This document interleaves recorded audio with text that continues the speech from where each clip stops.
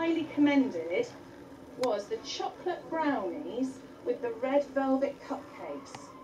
Hannah's brownies have taken fourth place. Third goes to some strawberry tarts and vanilla sponges. Then it's just the top two to go. This was this was a real mix of traditional and different, Yes, wasn't it? yes. We had the traditional Devonshire scones with the kumquat eclairs. Well done. Nice round of applause.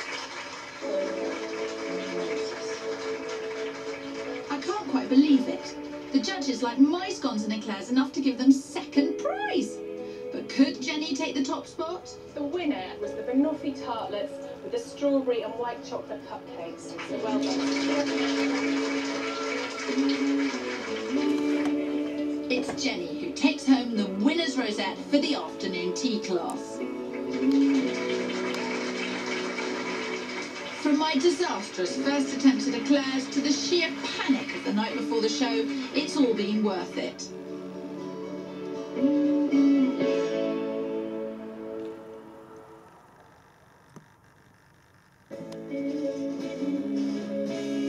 Boiler installations from British Gas, sponsors of Property on 4, looking after your home.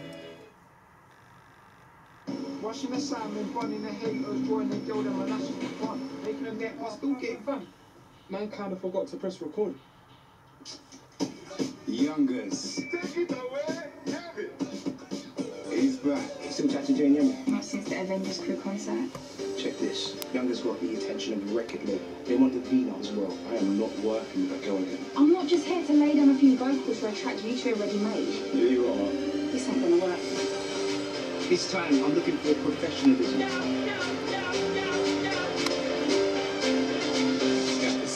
the set me a digit song. That big. I'm not giving you my digits. You can't squash this opportunity. Right, well,